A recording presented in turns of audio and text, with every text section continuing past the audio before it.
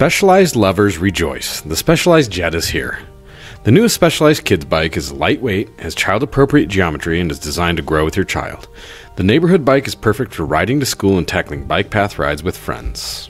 The Specialized Jett comes in several different models a 16 inch single speed, a 20 inch single speed, a 20 inch multi speed, and a 24 inch multi speed.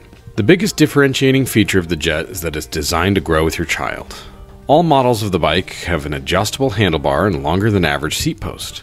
The 20 inch and 24 inch versions also have dual holes in the crank arms to effectively increase the length as your child grows. This is a unique feature and something we haven't seen on other bikes. The one thing we did find odd about the Jett is the long seat tube. Although the standover height is quite low, the higher seat tube means that the seat can't be lowered as far as one might like. This limits some of the potential of the bike for shorter kids. We thought the Jett Fit tool was really cool. For parents who don't know how to properly fit a bike for their child, this tool shows you exactly how to do it. There are three adjustment points crank length, handlebar rotation, and seat height. We measured our son and plugged our numbers into the tool. The result? The seat height was a little lower than I would have set it at, but it's certainly a good starting point. The idea that a kid's bike should have dual handbrakes and no coaster isn't new, but it is new to Specialized in the 16 inch wheel size. We're huge proponents of choosing a bike without a coaster. The Specialized Jett has easy to pull, easy to reach brake levers, and powerful V brakes. They aren't disc brakes, but they're plenty for neighborhood riding. A lot of kids' bikes come with grip shifters, and we're not a fan. So we're glad to see the microshift trigger shifters on the Specialized Jett. While they might take a bit more effort to learn than grip shifters, the trigger shifters are easier to operate and make nice clean shifts. The drivetrain on the 20 inch multi speed has 7 gears, while the 24 inch has 8.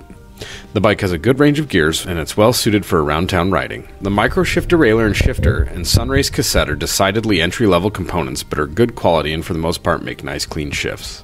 The Specialized Jett is designed to serve as a neighborhood bike. This means it's best suited to paved roads and bike paths, but can handle a bit of dirt and gravel as well. The bike has slick, Specialized Pathfinder 2.0 tires. These are fast rolling on pavement but still offer good traction on hard packed dirt or gravel. The other notable feature is that the bike has a rigid fork. As a neighborhood bike, this is a positive thing. All too many big bike brands offer bikes with heavy suspension forks. The biggest gripe we've had in the past with Specialized and other big bike brands making kids' bikes is that they're heavy. The Specialized Jett is one of the first offerings from a big bike brand that can compete on weight with kids' bike brands like Woom, Prevelo, and Cleary. The claimed weights for the Specialized Jett are as follows The 16 single speed is 15.2 pounds. The 20 single speed is 17.6 pounds. The 20 multi speed is 19.3 pounds, and the 24 inch is 20.5 pounds. We put the claimed weight of the Specialized Jett 24 to the test. On our scale, which generally seems to be pretty accurate, the weight came in at 1.9 pounds higher than the claimed weight, but that was with pedals on. Still a very respectable weight. Internal cable routing has made bikes look cleaner and keeps cables and housing performing longer. The Jett has internal cables for both the rear brake and the derailleur. As with the general redesign of their kids' bikes, Specialized included well thought out grips, saddles, and other components. The grips have an ergonomic mold design with a small platform for the palm to rest on. There's an interior lock ring, and there's not an end cap, but a nice thick bit of rubber molded into the grip, providing safety and durability. More than anything, the ergonomics of the grip design provide relief and help to prolong riding while enjoying the moment. The saddle is Specialized's bridge model, which scaled down for smaller people. There's a body geometry channel down the middle of the saddle, offering some relief in the seated position by allowing blood flow to sensitive areas. The padding is quite comfortable, but not overly padded and cumbersome. While the Jett has been designed from the ground up to provide absolute performance for our kiddos, the parents were not considered. We often get neglected when bike companies choose to stock bolt axles and fixed seat collars.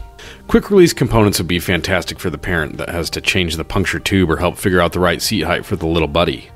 The seat collar is pretty easy to adjust as it requires an Allen key, but I doubt most parents are adding a dropper post to this bike, and a quick release seat post collar would be a nice addition. Ranging from $520 for the 20 inch to $580 for the 24 inch, the Jett is certainly not the cheapest all terrain kids bike out there.